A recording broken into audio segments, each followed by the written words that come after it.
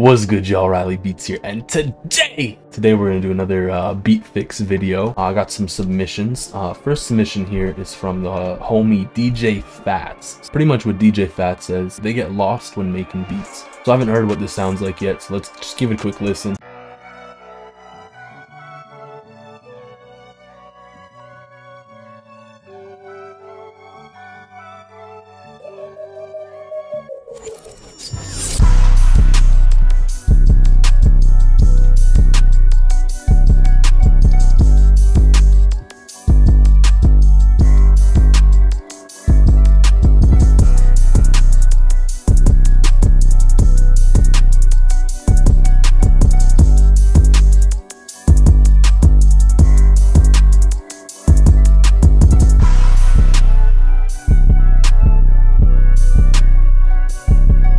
Yeah, I think we've given that a fair listen. It's it's pretty clean.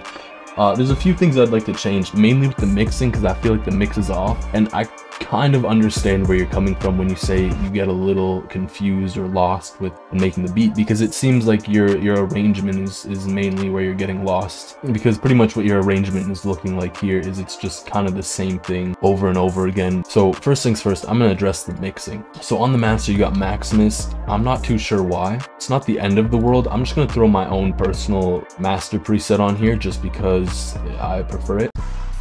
Oh wow, you mixed everything quiet. Let's go through everything individually. So I'm assuming you just left a lot of headroom, which is fine. You know what? We'll just undo everything. That's fine. We'll leave your master as is. Just personally, I like to mix loud as opposed to um, turning everything up in here. It's just, it feels like what you're doing here is over mixing from a standpoint of you're pumping everything into a bus, um, but almost like with no purpose. Like your bus is empty. You just turned everything way down. You know, you, you didn't have to put that into a bus to do that. Now I'm a little confused because your, your 808's going to the same bus as your melody. So I'm starting to get lost in here. Your kick kind of sounds dookie, I'm not gonna lie. And you're putting soft clip on everything for, for some strange reason. So you don't need to put your kick in mono. And we're gonna remove the soft clip. There, it sounds a lot less uh, like dog walk. Same thing applies to your, your 808, you don't need to do that. And we don't need to do that either.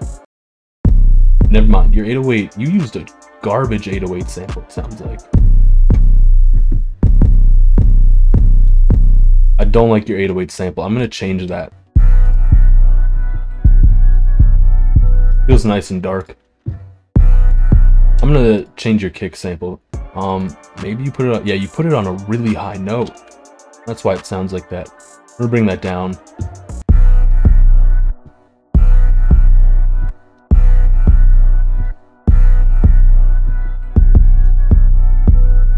And so I'm just gonna EQ slot those together.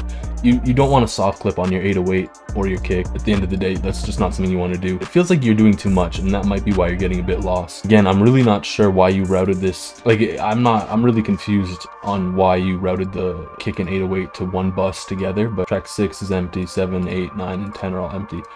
Uh, so you go into 11. What do you have in 11? You have everything in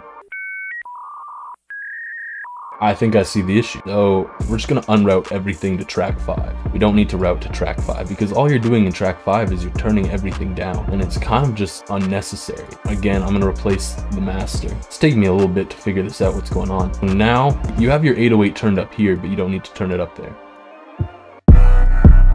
because you have it turned all the way down here. Did you do the same with your kick? Yeah. And then you turned your kick all the way down. You don't really need to do too much of an EQ on your hi-hats. I'm gonna throw on phaser. Again, this is just a personal thing. I think it would sound cool. I'm gonna bring down the mix knob on it a lot. I'm gonna bring up the volume of your hi-hats a tiny bit as well. And what do we have in track 14? Okay, you have an open hat. Weird open hat. Again, we don't need to do this. What you're doing when you do this is like, look at the sound. You're not really cutting anything out. Okay, you have a cool perk here. Yeah, I see why you EQ'd that. Um, me personally, I would just cut it like this.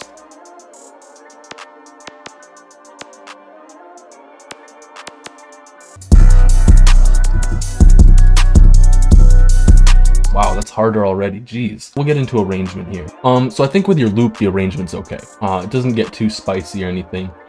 Um, but we want to focus a bit more on your drum arrangement. This is just a personal pet peeve. I see a lot of Instagram posts being like, oh, your melody needs to be panned this way, your hi-hat needs to be panned this way, your snare needs to be panned this way. Don't. Stop it. It's BS. It's not true. You don't have to do that. So I think one thing you could do here that'd be kind of cool uh, is only have one of the perk loops. I like this first one. It sounds a bit more like a build up. I think your 808 could play with octaves a bit nicely. I'm just gonna bring this up.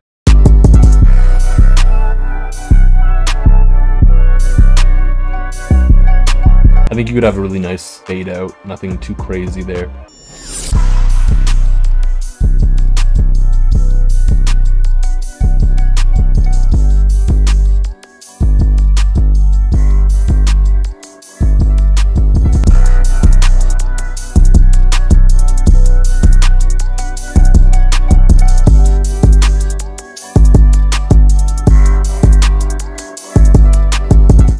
Save that and we'll move on to the next one. To be very honest with you, I don't think we have any, um, like a question from this next one. It was pretty much just sent to me.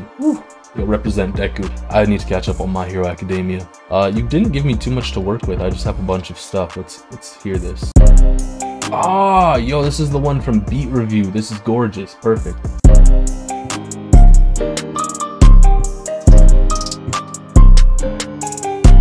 What happened? You had like this crazy guitar melody in there at some point. Oh, that was probably from Vital. Honestly, I'm gonna reset everything you've done here because there's nothing but reverb on something. So let's go to the piano.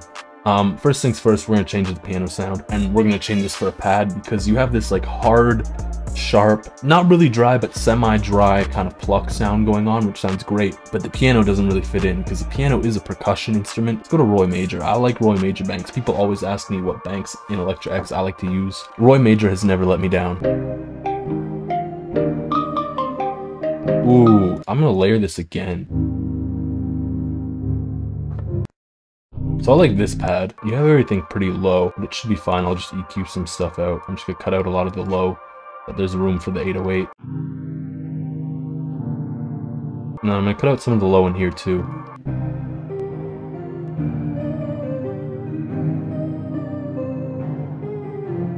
I'm gonna turn the pad down, it's a bit loud. I'm gonna throw everything into a melody bus just because I wanna turn it down together it's a bit loud altogether. And then I'll copy this over the 808, what's going on with the 808? Nothing. It's just kind of a weird 808 sound. I think this would fit a lot better. You're using a Spinz 808. I think um we should just throw in a different Spinz, to be honest with you. Yeah, that sounds a lot more smooth already. On the melody bus, I'm just going to cut out some of the lows, uh, just to make sure it's all cut out below 110. So on the 808, we're going to boost some of the low mids. Okay, we're gonna remove free balance and I'm just gonna throw in my own master preset because that just makes my life a little easier. I'm not crazy about this 808 pattern you have here. I just don't like the 808 hitting here.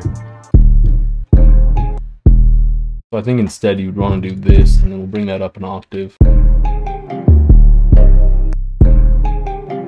What do we have here?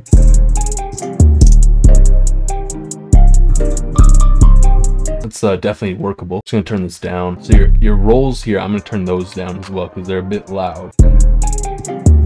I think you could have something cool with like, um,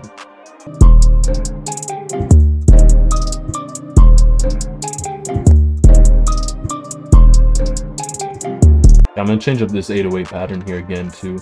I think it's fine hitting there, but I don't like it this. Clap sounds a little quiet, so I'm just going to boost a little bit here just because I want a bit more of the sharpness to come out. And I'm going to turn up the volume a tiny, tiny bit on there. Your open hat is ridiculously quiet. Just seems to be the sample. Weird. Ooh, your accent snares are way too loud. You want that to be a bit, bit lower. It's more of like a perk than uh, an actual snare. So let's just do some basic arrangement. So I'm going to cut out all of this. I think this sounds cool. Bring this back over. We'll cut out everything here. Let's use this as like a little hook section. I think it would be cool if we did like a cut right there.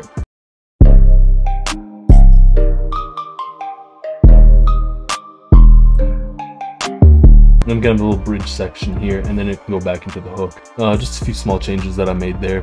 Um, I'll make sure to send all of these back, by the way. And if you do want to send in a submission, you can send it in through Discord. You can send it to my email. Please ask a question. Please send it as a zipped loop package. Uh, render out all of your melodies for me. Um, and leave the MIDI in too so I can mess around with stuff.